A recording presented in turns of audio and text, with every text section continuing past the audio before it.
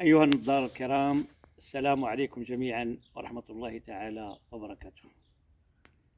اليوم راني وليت لكم بعد واحد الغياب طويل. لأن واحد مجموعة من متصفحي جريدة الجاسور وواحد مجموعة من الناس المعجبين بالجاسور وبالقصص ديالو قال لك ودي بغينا القصص.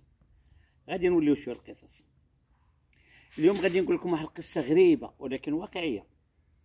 اللي بغى يصدق يصدق واللي ما بغاش يصدق مزيان. لأن القصة الا قلناها وكانت واقعية وما تصدقتش يعني راه عندها قيمة. اللي هذا واحد الإنسان عايش في سويسرا. لا باس عليه ربي يمسك عليه لا باس عليه. ولكن شوية موسوس موسوس مسكين. داي واحد السيدة عايشة معاه مشوفها المرار. كيفاش مشوفها المرار؟ غادي تسالوا كيفاش. اولا الصباح كينوض خصو يدوش ليها.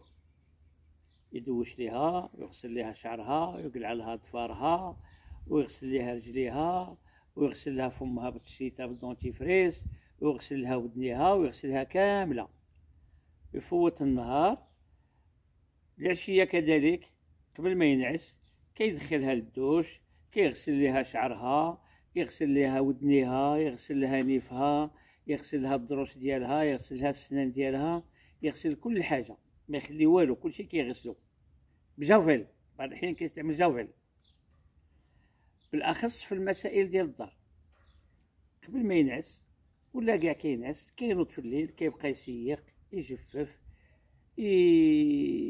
يغسل المواعن يقلع الغبرة يقلع العجاج هادشي دائما يوميا هذه عشرين سنة وهي عايشة معاه بحال هكا. لدرجة أنها هي تعقدت.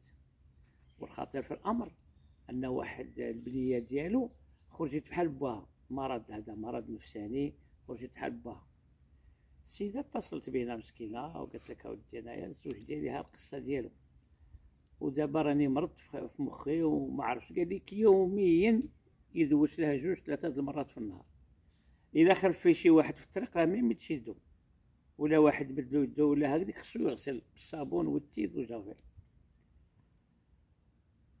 ومخنتها الحاجة اللي بغاتها يجيبها لها إلا الفلوس ما يعطيهاش. وقالت لك الفلوس بنفسهم كيغسلهم وكيمسحهم وكيغسلهم. اذا شد الفلوس يغسلهم ويمسحهم. ولهذا بغينا حنا نقسموا معكم هذه القصة ديال هذا السيد. وربما يكون يسمعنا شي دكتور شي بسيكياتر بسيكولوج ولا شي حاجة يقول لنا شنو نوع هذا المرض هذا. الانسان اللي موسوس لواحد الدرجة ما كتصورش. والمعاناة ديال هذيك السيدة معاه معاناة كتعاني مع عشرين سنة وهي كتعاني دائما كيدوش ليها قالت لك يغسل ليها شعري يقلع عليها الضفار يقلع عليها داك الوسخ بين الضفار لا كان شي وسخ. المهم هذه السيرة ديالها. اذا آه، بغيت نقاسم معكم هذه القصة وراها صغيرة ولكن بغيتكم تسمعوها. اذا نتمناو باش نكونوا قصص أخرين وغادي نوليو إن شاء الله نحكي لكم قصص. من بعد القصة غادي نحكي لكم واحد القصة أخرى زوينة إن شاء الله واقعية كذلك. اللقاء.